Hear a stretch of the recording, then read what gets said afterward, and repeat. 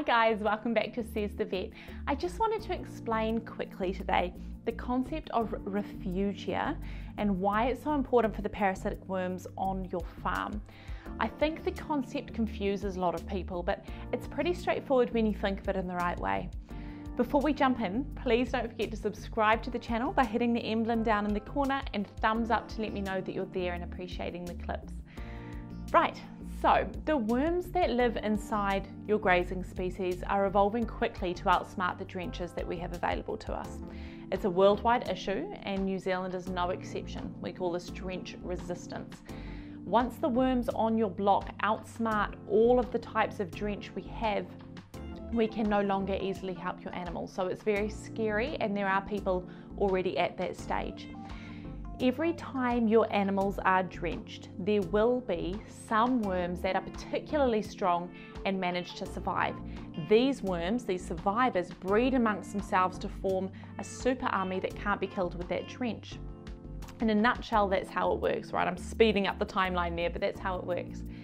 Refugia is the concept of making sure that there are non super worms, just the standard humble ones that can be killed, still in the population on the pasture so that they can breed with the super ones and keep everyone normal, as opposed to the super strong worms just breeding amongst themselves, only getting stronger and stronger. Okay, we need those humble ones in there as well that are still able to be killed, kind of diluting those, those super worm genes.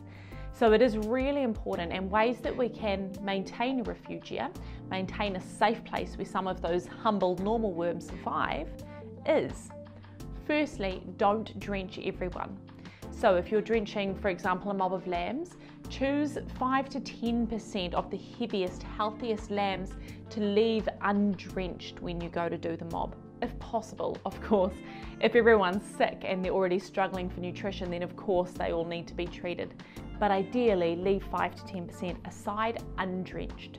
It doesn't matter if it's the same ones each time or not, so long as you're choosing the heaviest, healthiest ones of the group each time you drench. All right. Secondly, graze your undrenched adults behind your mob of youngsters. Your adults generally shouldn't need routine drenching. So your adult sheep will be carrying all of the normal humble worms around inside them. Put them in the paddock after your drenched youngsters to make sure that their worms can mix and mingle. Thirdly, when you drench a group, leave them on the same pasture for another week or two before moving them into the next paddock.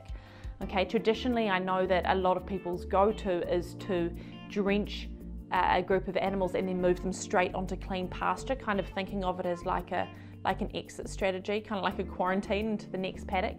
It's no good. It means that they're going into the next paddock and just dropping a bunch of resistant worms.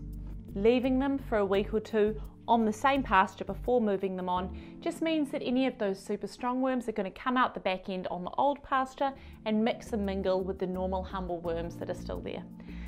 And finally, the absolute best you could do is to actually run fecal egg counts on your individual animals to know exactly who needs to be drenched and who doesn't. You may find that only 10% of the group actually need to be drenched, and then you've saved a ton of unnecessary drenching. Okay, I know that that's often not super practical on large farms, but on a lifestyle block or homestead, it's totally doable and highly recommended. All right, that's us for today. I hope that helps. I hope I explained that well.